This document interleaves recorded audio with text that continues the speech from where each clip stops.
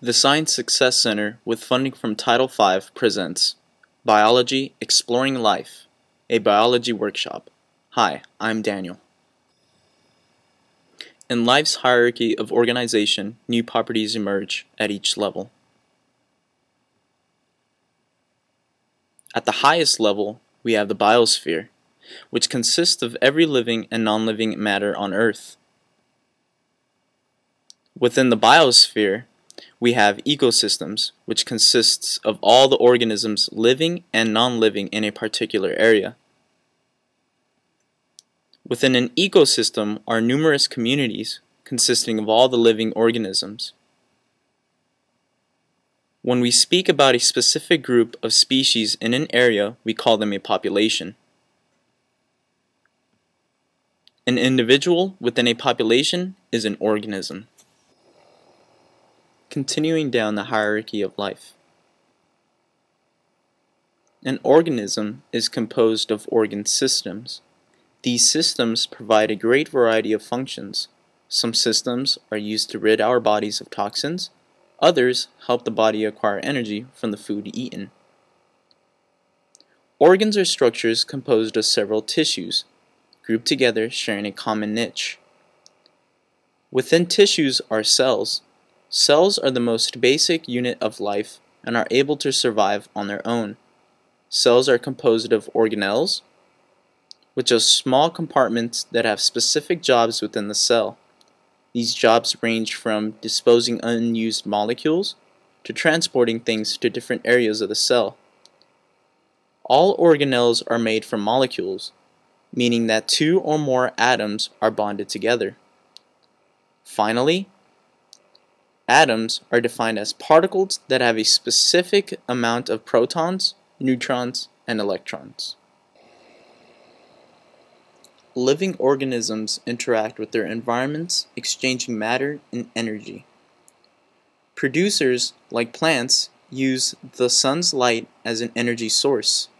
This energy is transformed into chemical energy like the fruits we love to eat. Consumers then consume chemical energy to sustain life.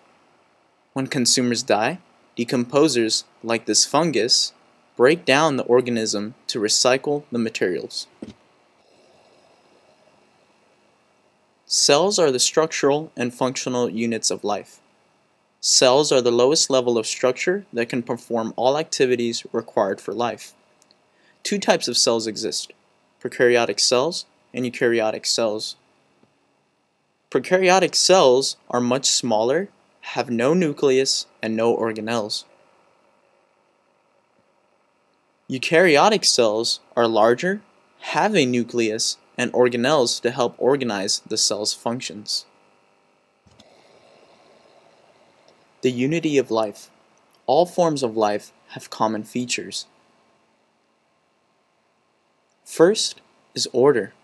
All living things exhibit complex organization. Second, regulation helps maintain an internal environment suitable to sustain life. In growth and development, inherited genes control the pattern of growth and development of organisms.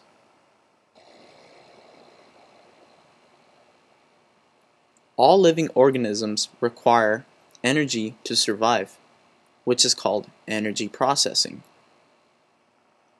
The environment plays a huge role on an organism, and in order to survive, it needs to be responsive to the environment. Life only continues when reproduction occurs. Therefore, all living things must reproduce. The environment changes periodically over time, and organisms must adapt to these changes. So lastly, all organisms must be able to go to an evolutionary adaptation. The diversity of life can be arranged into three domains. Domains bacteria and archaea are living things composed of prokaryotic cells. In the domain eukarya, all the living organisms are eukaryotic cells. The domain eukarya is also broken down into sublevels, protists, plantae, fungi, and animalia. Evolution explains the unity and diversity of life. Evolution is species living today that are descendants of ancestral species.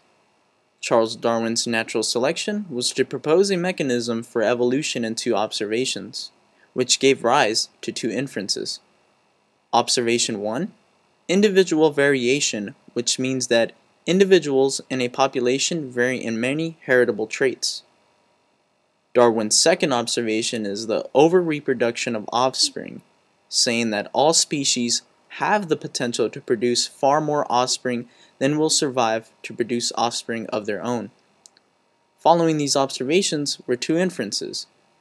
Inference 1 Unequal reproductive success.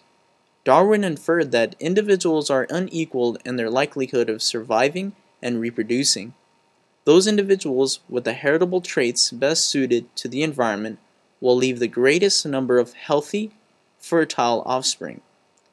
Finally, inference 2 Over time, favorable traits accumulate in a population, saying that over many generations, a higher and higher proportion of individuals will have the advantageous traits.